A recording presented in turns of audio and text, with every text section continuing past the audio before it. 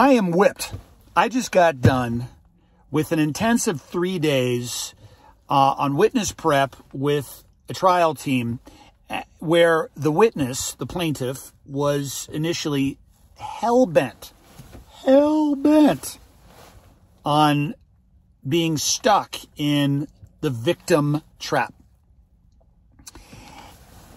And by day three, we got him to a lot more joy.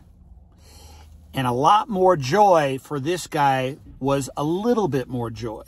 And a little bit more joy went a long way. And just getting this dude to literally being able to give like a half smile. I mean, like he, he, it looked like the side of his face when he when he eventually got to joy, authentic joy, uh, was was like lifting a thousand pound sandbag on his lips, like like it, the, the, the, the physical act of smiling and feeling joy.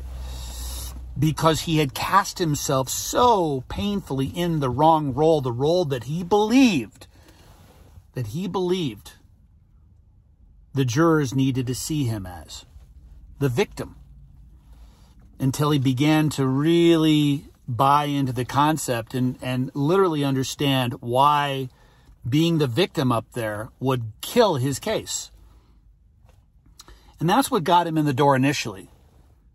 But then the joy, the authentic joy, came with allowing himself to feel the joy that was still under his roof, that was still present. And the takeaway from me is not just the power of the victor story, but sometimes, sometimes, maybe you just got to let your client be them, themselves, or at least the understanding of, of who they think they're supposed to be up there. Let them wear the mask. Because the truth is, is that beneath this guy's rage was an enormous amount of sadness where he couldn't, literally could not stop crying. And this is a brain injury case. And ladies and gentlemen of the jury, you're either going to believe this is TBI or this is bullshit. And, and you're polarizing right there the minute you put your client on.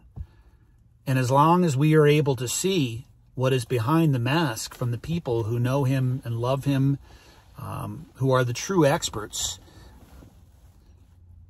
in seeing who he's like before and who he's like now. If as long as you can get your client, as long as we can get this guy to a little bit more joy, a little bit more joy, a little goes a long way. So that we could see that despite the pain, despite the horror show, despite the challenges and the struggles of living with a profound brain injury and not being able to do the work that fulfilled him so much before, he could still smile because that was one of his mom's greatest wishes. Magic wand waved. I asked mom, what would you like for your son? I just want to see him smile again. I just want to see him smile again. And the fact that he can give a little bit goes a long way trusting in the power of the victor's story may not be the rainbows and unicorn Hollywood. Hey, Rocky, all of a sudden he's smiling with joy. You may not ever get there. But a little goes a long way.